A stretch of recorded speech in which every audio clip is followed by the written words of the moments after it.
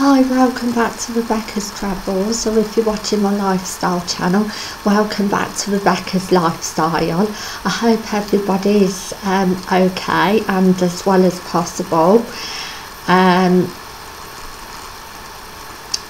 uh, yesterday um, I had to uh, go into work um, to help out at Morrison's.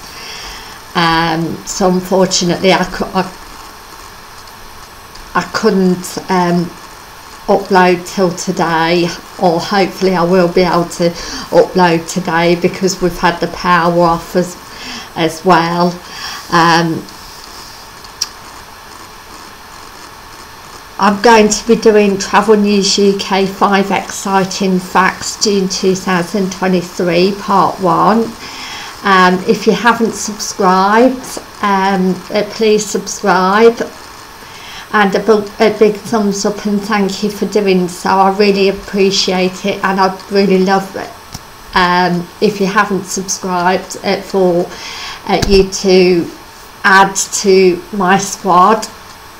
And again I really appreciate it. A massive thank you uh, for doing so. Um, so I'm going to kick off now with TT media and Global Traveller Travel Collection announced a UK tour to meet um, new um, agents um, so that's really good news. And uh, Global Travel Collection UK is embarking on a, a five city tour to encourage um, new travel advisors. So that's really good news. Um, that we get uh, more travel agents travel advisors. And it'll also encourage people to uh, go on tours and visit the UK um, which is a really good thing. And um, number two travel tomorrow. More Scotland trips um, classified as holidays um, than any other part of the UK so a lot of people are going to Scotland on a holiday and the part that I've seen in Scotland um, and also that I've watched on um, other YouTube channels is absolutely beautiful absolutely stunning. And I'd recommend if you haven't gone to uh, been to Scotland then uh, go and visit.